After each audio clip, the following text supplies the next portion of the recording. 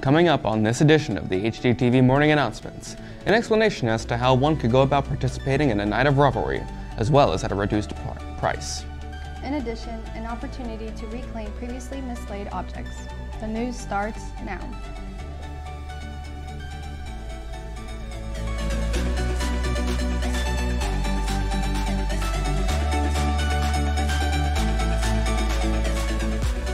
Please stand.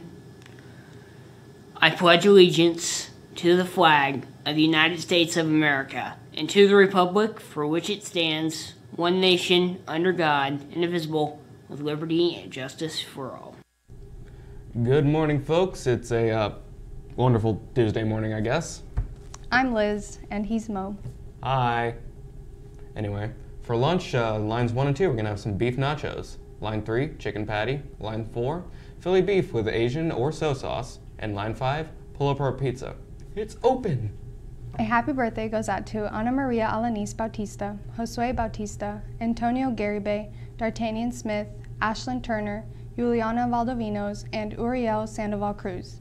And out of sports with Dallas. Thanks, guys. We have a variety of sports news today, so bear with me.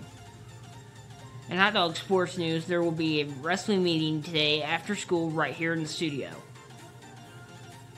Competition cheer squad tryouts are today in, in Case Arena at 5 o'clock.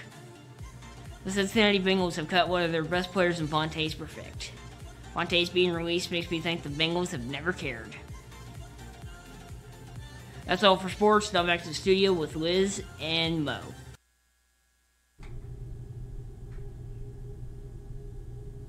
Stop by the bookstore this week to pick up your permission slips for prom at Arborwood. Why do you need a permission slip signed so early when prom is May 4th? It is a requirement for each student to turn in their signed parental forms before they are allowed to purchase their prom tickets. Prom tickets will be sold starting April 1st. No April Fool's joke. Tickets will be at a reduced price the first week after spring break. Instead of $25 each, tickets will be $20 for one week only. Pick up your permission slip today. There will be a lost and found table set up across from the bookstore in the main entrance hallway, beginning today until Thursday. Please stop by to see if any of the lost items belong to you. If you lost jewelry or something of value, please ask Mrs. Jameson as those items will not be on the table. Well, that's going to do it for today's announcements. Hope you enjoyed it. Don't know exactly what else to say except for uh, Rep Plant Gang. Have a good day.